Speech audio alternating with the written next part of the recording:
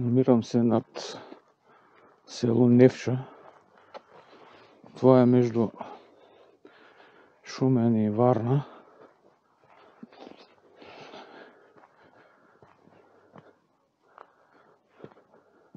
Ако сте пътували по магистрала Хемус, в двете посоки е видно едно много високо скално образование. Известни са, т.е. те са две големи скални образования. Известни са като голямото и малкото було.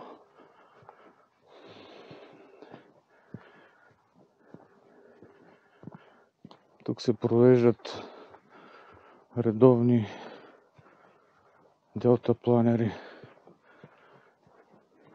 сбирки. На такава попадаме аз днеска. Но те са малко по-надолните места, не на самата височина. Правих някоя друга снимка от там.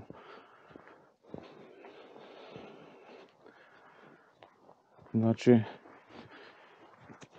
по тези места е имало селище още 6-7 век. По-късно в 16 век началото е имало в скалните манастири, които са природни образования по принцип, такива полупещери. И са се помещавали монашески килии,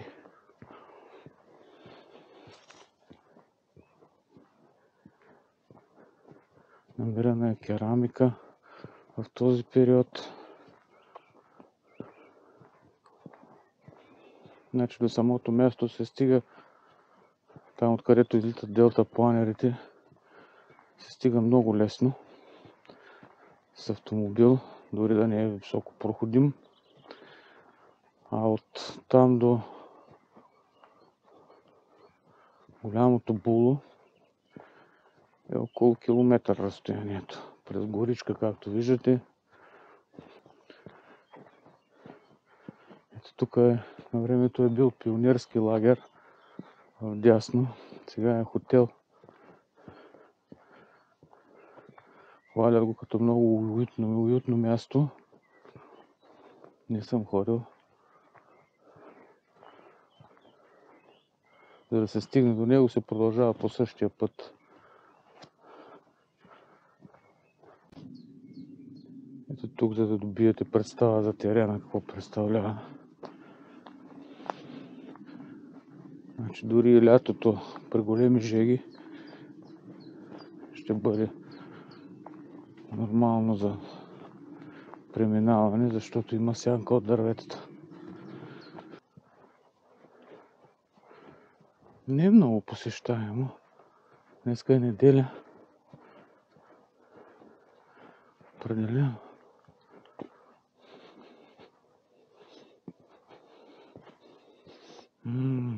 Люляка на. Но тези а, ниши, където са били този наречени скални манастири, не са достъпни без а, алпинистко оборудване, някой да не се забуди. Отгоре само може да се стигне. Ето още една група хора.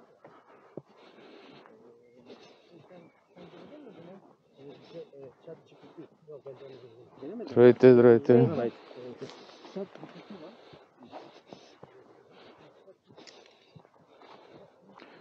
Двама чужденци и един българин.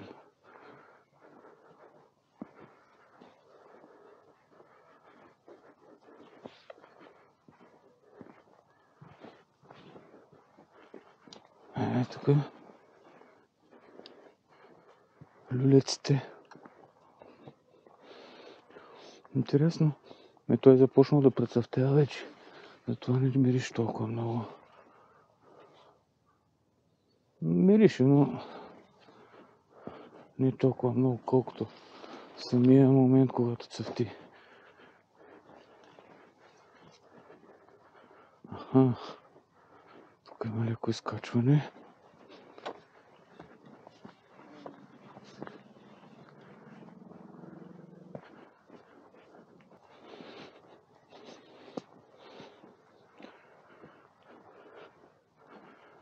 Традицията по такива маршрути изисква като срещнеш човек да го поздравиш, не да се правиш на турник, като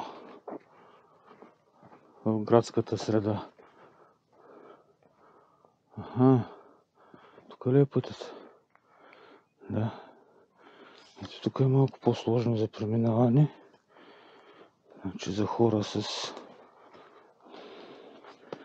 двигателни проблеми ще е кофти. Не видим колко е.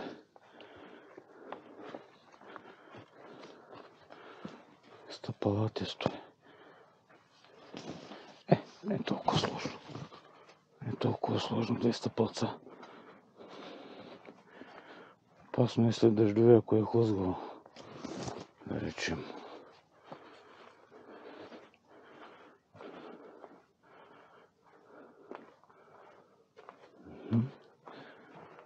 Са били подстъпите. Да.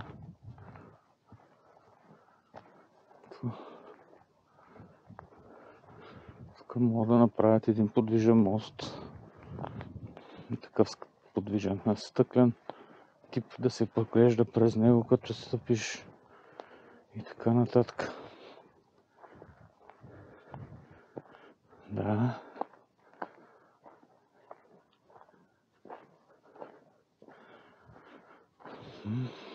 Сега се намираме директно над тия скални манастири, за които споменах. Как са слизали на времето, няма си представа. Може би се отчупил пътя естествено се е променил. Ще пуснем един дрон да го видим какво представлява тук. Да. При големи жеги само, че не препоръчвам някой да получи слънчев удар. Иначе ето. Това е красотище.